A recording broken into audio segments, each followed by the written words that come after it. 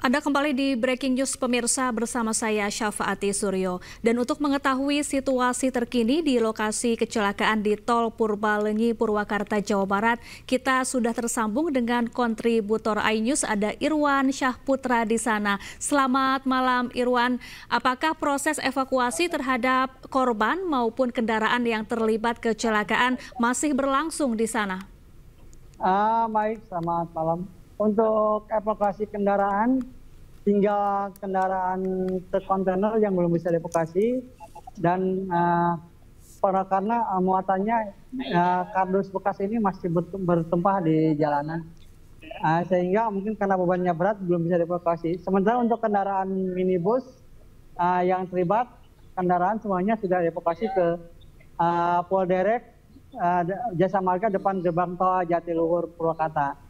Uh, sementara untuk di lokasi kejadian saat ini uh, uh, jalur sudah dibuka sebagian untuk uh, di pinggir sebelah kiri dan kendaraan dari arah Bandung menuju, menuju Jakarta sudah bisa melintas demikian. Baik, artinya seluruh korban sudah dievakuasi ya, Irwan? Oh, untuk korban semuanya sudah dievakuasi dari 24 korban luka dan satu meninggal dunia itu semuanya sudah dievakuasi ke Rumah Sakit Abdul Rajak Purwakarta. Jadi sekarang di sini uh, tinggal kendaraan kontainer yang terguling belum bisa dievakuasi. Demikian. Baik, Irwan, uh, boleh sambil Anda menunjukkan kepada kami situasi terkini di sana? Uh, baik, ini uh, kondisi uh, truk yang saat ini masih dievakuasi. Siap. Untuk kondisi truk ini belum bisa di belum belum bisa dievakuasi. Ini masih masih uh, berada di TKP. Ini belum bisa dievakuasi. Truknya masih terguling, belum bisa dievakuasi. Ini. Baik Irwan, jadi total ada berapa kendaraan yang terlibat kecelakaan? Kalau menurut informasi dari pihak kepolisian itu total kendaraan yang terlibat itu uh, semuanya berjumlah uh, eh, 17 kendaraan. 17 kendaraan termasuk uh, truk ya yang saat ini iya. belum dievakuasi. Kemudian iya. untuk kronologi kecelakaan dan juga penyebab kecelakaan apakah sudah ada informasi terbaru yang disampaikan oleh petugas yang berada di sana Irwan? Uh, tadi informasinya ini uh, kecelakaan ini diduga dari penyebabnya dari kontainer yang terguling ini. Dia uh, mengalami ini uh, sistem pengereman ada diduga uh, lalai sistem pengereman dia cuma memakai rem tinggi rem rem 4 di kendaraan menurun ini sehingga tidak terkendali dan terguling di lokasi kejadian. Baik. Untuk saat ini bagaimana kondisi lalu lintas di Tol Purbalenyi yang tadi kabarnya sempat terjadi kemacetan sangat panjang di sana. Apakah kemacetan sudah terurai? Uh, kemacetan sudah mulai terurai, ini mulai mulai di, bisa dilintasi, namun sekarang dihentikan dulu karena ini masih terhalang oleh truk apa muatan truk. Uh, tadi sempat udah sempat bisa dilintasi uh, arus uh, TKP ini, tapi sekarang dihentikan dulu sementara. Sekarang dihentikan dulu sementara, jadi uh, kendaraan masih menunggu. Mungkin nanti uh, tidak lama lagi akan dibuka karena sudah mendekati ini uh, apa titik titik uh, truk yang terguling. Baik, ap, uh, apakah hujan masih ini. turun di sana, Irwan?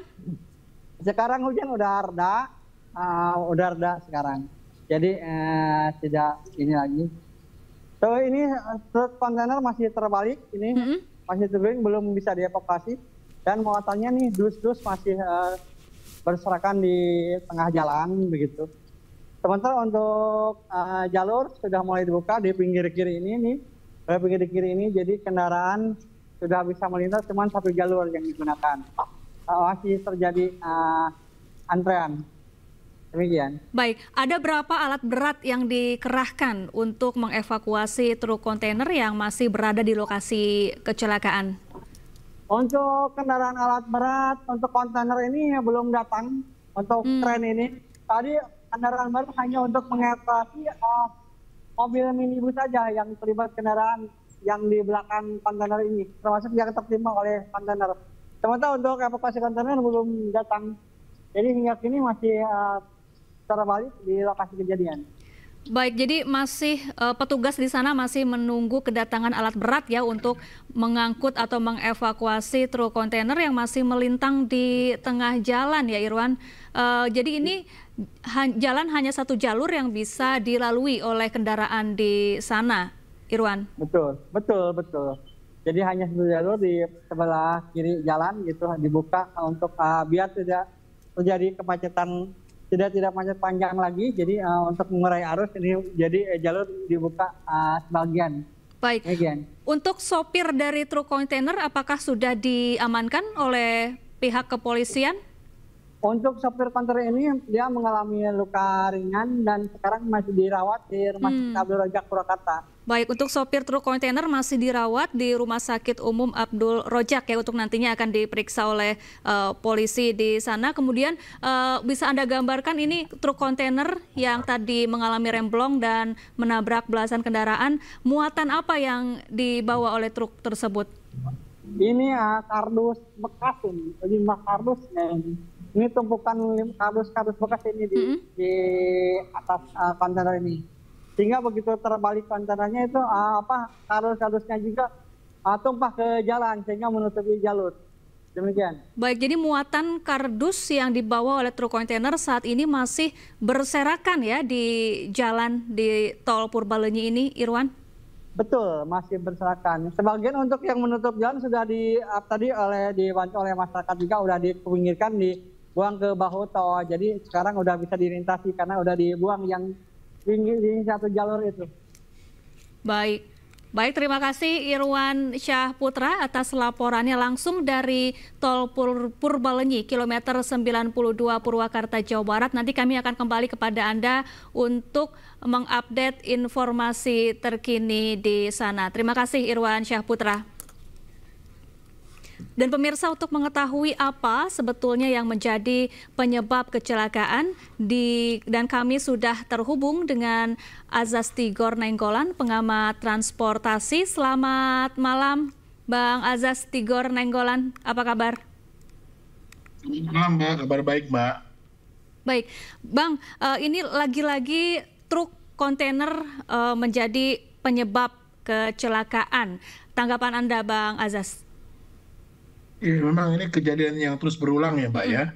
Dan memang kelihatan sekali eh, apa ya istilahnya terkesan ada pembiaran begitu yeah. loh menurut saya. Ada pembiaran dan kecelakaan terjadi terus begitu. Kenapa saya bilang terkesan ada pembiaran? Karena kejadiannya beruntun, banyak hmm. sekali ya. Yeah. Uh, truk seperti ini gitu ya dan itu itu itu sangat terang benderang gitu loh bahwa truknya itu nggak layak jalan gitu ya. Hmm. tapi bisa beroperasi. Padahal di jalan tol tuh ada juga polisi kan gitu. Ya terus kenapa juga jalan tol memberi izin kendaraan-kendaraan yang seperti itu yang tidak layak jalan misalnya hmm. uh, bisa bisa beroperasi masuk ke jalan tol. Itu yang pertama mbak. Yang kedua tadi kita belum dapat jelas ya truknya itu truknya masih masih truk yang original atau dia sudah dimodifikasi? Karena hmm. banyak sekali kejadian itu dan juga banyak sekali truk-truk yang sudah dimodifikasi mbak beroperasi di jalan tol.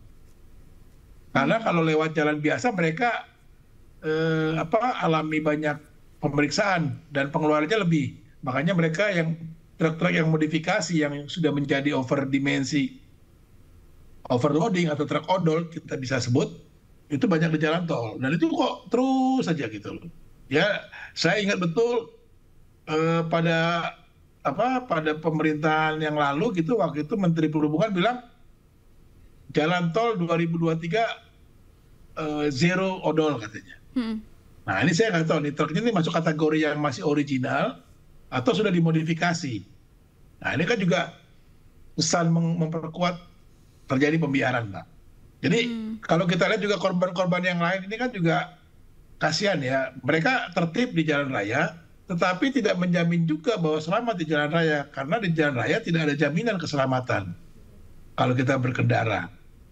Itu, Baik, Mbak. Bang Tigor tadi ada mengatakan ada pembiaran. Lalu sebetulnya eh, bagaimana pengawasan terhadap truk-truk kontainer untuk mengetahui apakah truk tersebut layak jalan atau tidak? Tahan dulu Bang Tigor, kita akan kembali usai jeda. Tetaplah bersama kami di Breaking News. Anda kembali di Breaking News pemirsa dan masih bersama kami ada Azaz Tigor Nainggolan pengamat transportasi. Bang Tigor, uh, sebetulnya uh, bagaimana pengawasan yang seharusnya dilakukan terhadap truk-truk besar sehingga hanya truk layak jalan yang bisa melintas, sopirnya tidak bermasalah sehingga tidak membahayakan warga dan juga pengendara lainnya?